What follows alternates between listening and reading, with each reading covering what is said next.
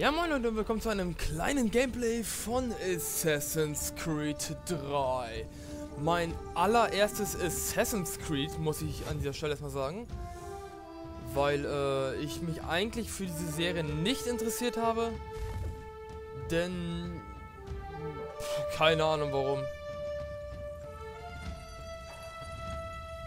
Also ich habe nie äh, irgendwie einen Sinn darin gesehen, jetzt unbedingt dieses Spiel kaufen zu müssen. Aber ich dachte mir so, ey, holt es hier doch einfach mal. Und ich muss einfach hier den Sound leider stellen, weil ich kann mich selber kaum verstehen. Also schrecklich. So. Ja, Musik runter. Sprache auch mal runter. Und Effektlautstärke auch erstmal runter. Ist ja brutal. Also Blut natürlich an. Untertitel für euch mag ich auch immer kurz an. Also wie ihr seht, also ich bin gerade erst ins Spiel eingestiegen.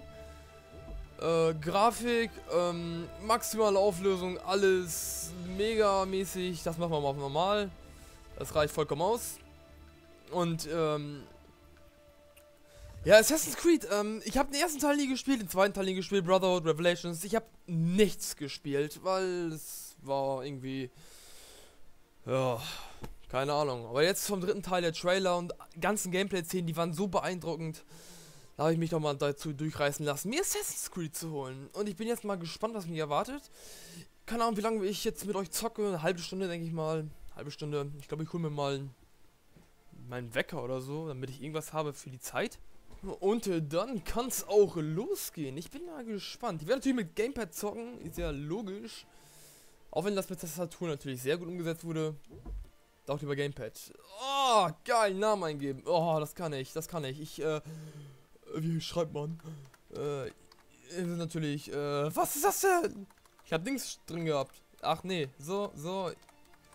So. Über 18 LP. So ist das. So.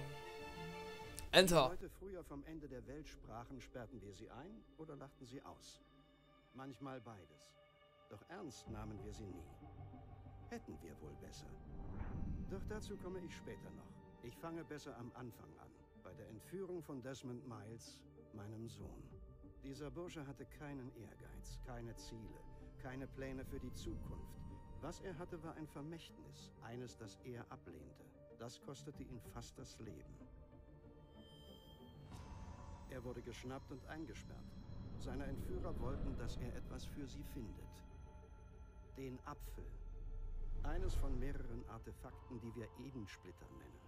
Teile antiker Technologie, die auf dem Globus verstreut sind. Einige versteckt, einige gefunden. Allesamt gefährlich. Die meisten sind im Besitz einer Gruppe.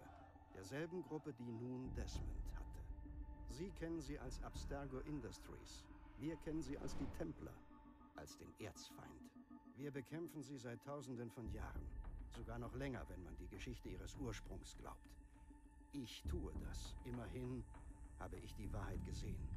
Das ist das Schöne und der Schrecken des Animus. Dieses Gerät erlaubt es uns, die Leben unserer Vorfahren zu sehen und nachzuerleben. Es hat die Macht, alles zu verändern, uns die Vergangenheit zu zeigen, wie sie wirklich war. Bis zu seiner Erfindung schrieben nur die Gewinner die Geschichte. Wir kämpfen dagegen an, um Körper und Seelen zu befreien. Doch unsere Mittel sind begrenzt und die Templer haben momentan die Oberhand. Aber nun nähert sich etwas Größeres als Templer und Assassinen zusammen. Größer als alles andere. Und wenn wir es nicht aufhalten können, werden die nächsten Wochen unsere letzten sein. Für alle von uns. Am Ende hängt alles von ihm ab. Von Desmond. Durch den Animus entdeckte er sein Vermächtnis. Entdeckte die Leben und die Geheimnisse seiner Vorfahren. Währenddessen trainierte er. Von einem anderen Vorfahren empfing er Jahrzehnte der Erfahrung in nur wenigen Tagen. Es klappte, glauben wir, hoffen wir. Und bald, bald wissen wir es. Der ominöse Tag nähert sich schnell. Der 21. Dezember 2012. Niemand weiß, was er bringen wird. Nur, dass wir hier sein sollen, wenn es soweit ist. Sie haben uns geführt auf ihre ganz eigene, frustrierende Weise. Diese Stimmen der ersten Zivilisation derer, die vor uns kamen. Einer früheren Rasse mit enormer Macht und unerklärlichen Motiven. Sie sind die Erzeuger der Edensplitter. Hierher haben sie ihn geführt und mit ihm uns. Er steht am Eingang dieses uralten Ortes, gewappnet mit dem Wissen Altair und den Fähigkeiten Ezios. In seiner Hand hält er den Edenapfel und wir stehen ihm zur Seite, bereit ihm, wo immer es geht, zu helfen. Sein Name ist Desmond Miles und er führte uns zum Ende. Jetzt weiß ich, warum ich mich nicht für die Serie interessiert habe, weil das so eine Science-Fiction-Scheiße ist. Aber von der Story her ein fucking Fachmillionen mal besser als Call of Duty und die ganzen anderen Shooter-Scheiße. Aber ich werde sowieso nicht durchsteigen, ich weiß es jetzt schon. Hallo! Wir sind da.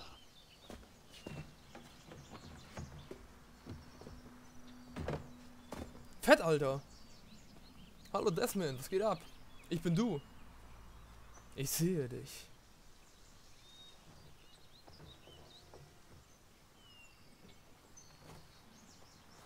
Ja, in die Höhle gehst jetzt rein, dann wirst du vergewaltigt.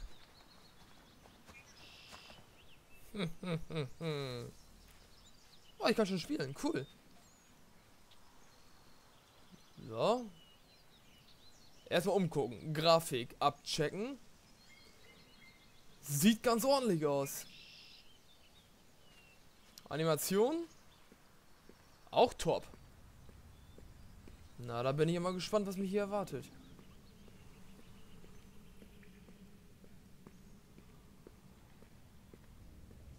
Warte mal, hast du ein Tattoo am Arm, Alter? Bist du ein Finn-Gangster? Hui. Aber wir hätten hier schon wieder rumgesprüht. Was ist das mit Eigentum?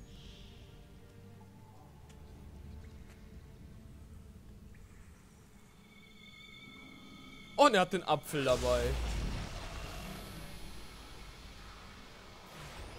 Guter Desmond, guter.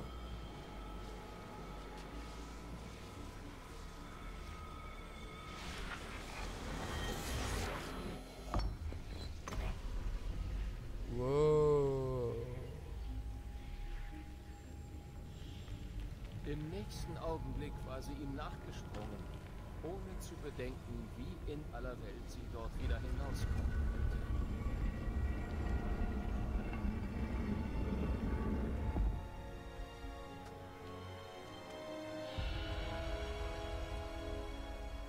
Ist ja gar nicht episch oder so. Nein. Laber doch kein Bullshit. Wie dunkel das ist, ey. Hä? Was war das denn? Hallo? Oh, es läuft butterweich mit 16 Bilder, trotz Aufnahme. Und genau in dem Moment muss es natürlich ruckeln.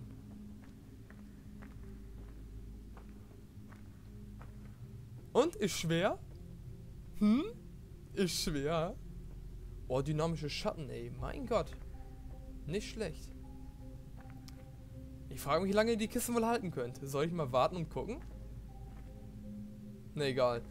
Ich will euch jetzt ja nicht langweilen. Ich will, ich will ein paar Bildfetzen, komische Schnitte haben. Was auch immer.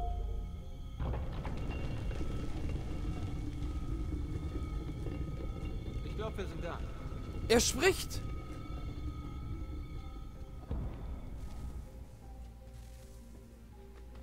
Wow, wow, wow, wow!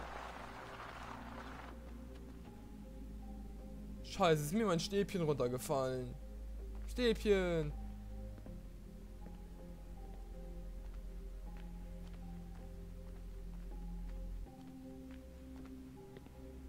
Ja, in die Höhle möchte ich auch rein. Alter, wie geil das aussieht. Nicht schlecht, mein Scher. Muss ich jetzt die anderen beiden Teile auch noch zocken? Und das müsst ihr wissen als Assassin's Creed Fans, falls einer von euch überhaupt dabei ist.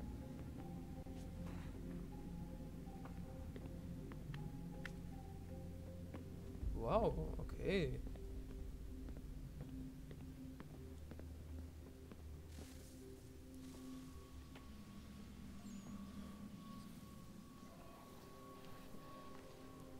Science-Fiction-Käse! Yay! Sein Pullover-Ärmel backt da eine Runde rum.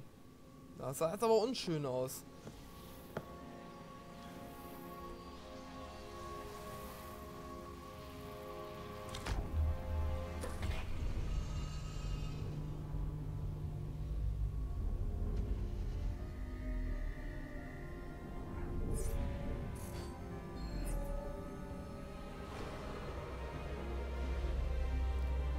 Und Desmond sprach, es werde Licht.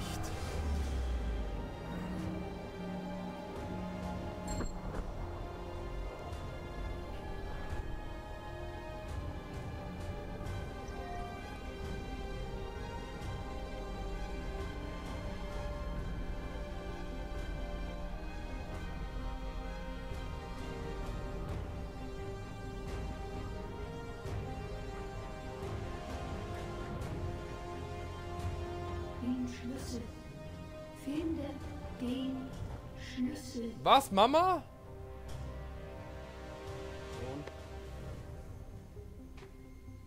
Sir? Was? Das schon wieder. Desmond? Ja? kannst du uns hören? Ja? Ja. Was ist passiert? Der Tempel hat einen Sicker-Effekt ausgelöst. Du bist kollabiert und in einen Warnzustand verfallen. Und natürlich habt ihr mich in den Animus gesteckt, statt, keine Ahnung, nachzusehen, ob ich okay bin. Du warst nicht in Gefahr. Außerdem schien der Tempel mit dir zu kommunizieren. Und ich wollte diese Verbindung nicht unterbrechen, solange wir nicht wussten, was er wollte. Ja, alles klar. Sohn, ich... Nein, schon gut verstanden. Und ich weiß übrigens, wonach ich suche. Einen Schlüssel. Ich weiß nur nicht, wo er ist. Schätze, deshalb hat sie den Sicker-Effekt ausgelöst. Sie? You know that. Sie spricht zu mir. Also die Gesichtsanimationen sind ja mal nicht schlecht. Okay, Desmond. Während du Konstantinopel besucht hast, haben wir ein Software-Update für den Animus installiert. Warte. Ich würde gerne ein paar Tests machen. Sicherstellen, dass es Scheiße, keine Probleme Alter. gibt. Okay, also was soll ich tun?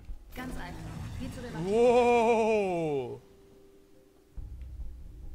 Was für eine Science-Fiction-Scheiße! Boah! Ich weiß genau, warum ich das nicht spielen wollte.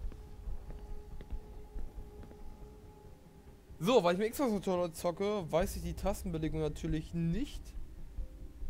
Achso, das ist zum Laufen. Alles klar. Ah, klettert automatisch. Das ist schon mal von Vorteil. Okay, Desmond. Jetzt kletter mal auf diese Objekte. Welche Objekte?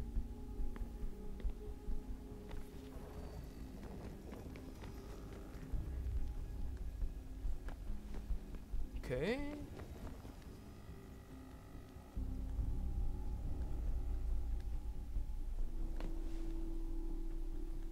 Also klettern kann der Mann echt gut.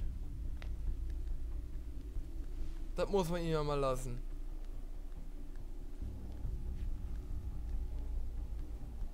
Weiß ja, wo ich hin muss. Ich kletter einfach nur irgendwo lang. diesen kleinen Hindernisparcours.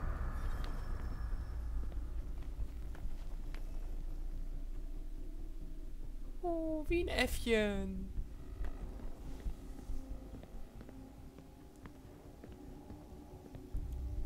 Er springt sogar automatisch. Muss ich eigentlich hier irgendwas machen?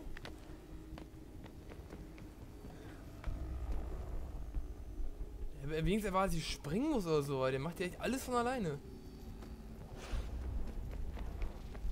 Das ist eine Vorgabe. Das sind optionale Missionsziele, die deine Synchronität erhöhen. Okay, Desmond. Folge den Anweisungen und schalte die beiden Templer aus.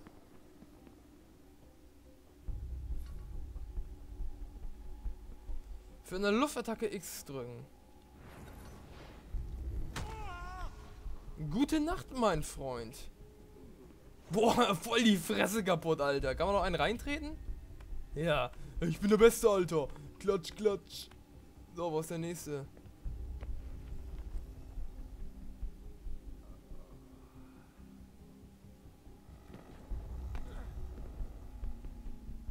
Hm, scheiße.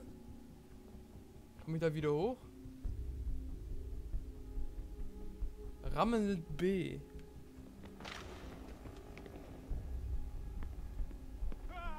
Hier musst du nur über den Abgrund springen. Oder so. Kann ich die Waffe aufnehmen?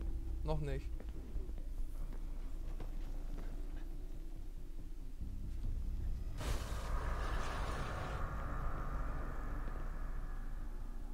Alter, wie es aussieht, ey. Nee.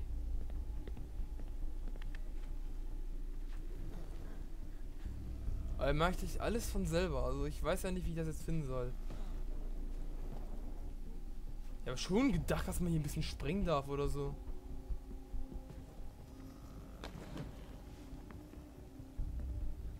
Hopp und hopp. Und hoch da.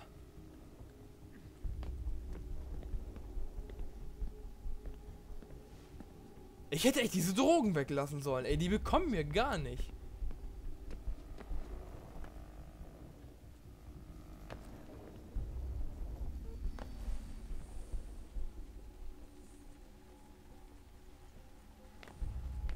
Ähm, fallen lassen.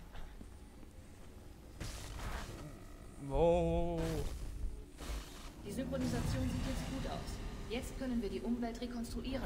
Finden wir heraus, was der Tempel von dir erwartet.